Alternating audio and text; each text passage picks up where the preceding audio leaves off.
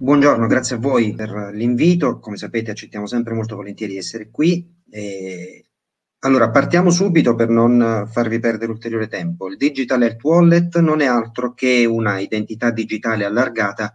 di cui si sta parlando in Unione Europea. Finalmente l'Unione Europea si è posta, o meglio, sta portando a termine un percorso che cerca di identificare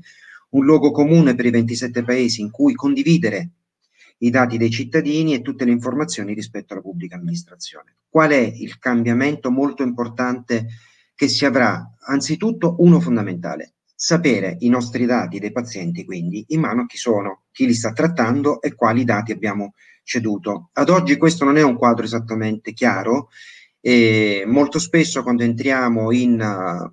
ospedale o in studi specialistici ci viene chiesto appunto di cedere i nostri dati sanitari, alla luce della nuova legge europea, quindi limitati, ma alla fine non sappiamo che uso venga fatto di questi dati, se anonimizzati o resi in, altra, uh, in, altro modo disponibili ad altri professionisti. È un problema appunto che non riguarda solo le ASL o gli ospedali, riguarda in generale una mancanza di, di omogeneità sia a livello nazionale che addirittura a livello regionale, se non europeo. Pensate che il professor Lopalco, che voi conoscete, l'assessore della Regione Puglia, ci ha sottolineato come per esempio in Regione Puglia molto spesso durante l'emergenza Covid da alcune ASL i dati arrivassero sui pazienti via foglietto o addirittura con una trasmissione via fax. Questo ovviamente crea dei grandissimi problemi perché ci possono essere errori nella trascrizione, errori nella trasmissione, insomma il dato che è una cosa molto, molto importante in,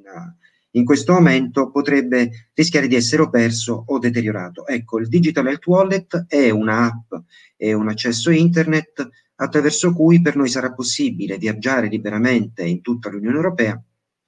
e avere i nostri dati sempre a portato di mano. Questo percorso, secondo quello che è stato deciso a giugno, perché è una proposta che ancora ha fatto la Commissione, dovrebbe concludersi entro il 2030, però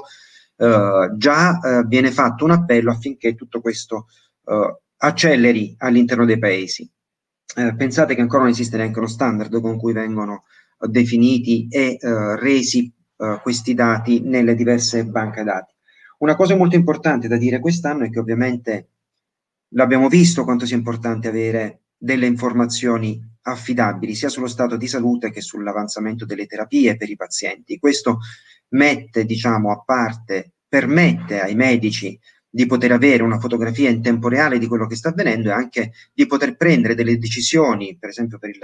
per le ASL piuttosto che per le regioni e il governo, di salute pubblica. Quindi cose davvero molto importanti per noi.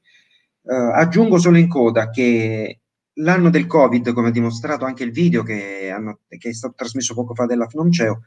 ha permesso in alcune occasioni di superare eh, quella crisi di fiducia che c'era tra medico e paziente, su cui noi di Cittadinanza Attiva insieme al FNOMCEO ci siamo impegnati da un po' di tempo, perché crediamo che sia fondamentale uh, un rapporto di fiducia. C'è da dire che stiamo registrando purtroppo in questo periodo degli episodi non molto piacevoli di ritorno delle aggressioni dovute probabilmente ad uno stato diciamo di salute mentale un po' precario in questo periodo,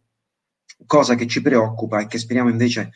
possa ritornare nella normalità, nella normalità vuol dire un rapporto di reciproca fiducia, di reciproco rispetto e non certamente aggressioni. C'è anche da sottolineare che nel periodo del Covid però non è stato tutto rose e fiori, abbiamo avuto diverse occasioni in cui c'è stato segnalato l'impossibilità di contattare il proprio medico di famiglia, magari perché era una situazione eh, di rischio e, e quindi non era a disposizione per un periodo breve. Questo è avvenuto eh, però diciamo stiamo cercando di superarlo insieme in questo momento con una nuova sfida, cioè quella di tornare a curarci. Per noi, quindi, ci sono due grandi filoni molto importanti. Il primo è che effettivamente eh, creare un ambiente comune in cui si definiscano i dati ceduti e si capisca che il dato è del cittadino e non è di nessun altro e che quindi il cittadino può essere libero o meno di cederlo a chiunque è la prima cosa fondamentale. L'altra invece è che effettivamente si riattivino bene tutti i canali di accesso alle cure perché i cittadini hanno risentito di più di un anno di blocco in molte occasioni di accessi e questo sta avendo un effetto a catena anche sulla, sui, pazi- sui medici, perdonatemi, sui professionisti, come se appunto questa responsabilità fosse a mettere in capo ai professionisti a non un momento di crisi collettiva. Speriamo che ci sia uno sforzo adesso da parte delle ASL delle regioni perché si torni a permettere ai cittadini di avere un pieno accesso ai loro diritti alla cura e quindi di ritornare tutti a curarci e di non vedere solamente gli episodi appunto una volta che si sono aggravati come, sta, come è avvenuto troppo spesso. Quindi da parte nostra un in bocca al lupo a tutti noi perché sarà un bel periodo in cui saremo tutti sfidati su lavorare in un'atmosfera ancora più digitale e ancora più, diciamo, eh, grande di prima, perché appunto avremo anche dei controlli diretti su questo, però credo che ne avremo tutti quanti un giovamento sia dal punto di vista della qualità delle cure che dal punto di vista della risposta pubblica. Ovviamente senza mai dimenticarci, come sempre diciamo, che il rapporto di persona e quindi eh, il colloquio tra il professionista e il paziente non potrà mai essere sostituito da alcuna forma digitale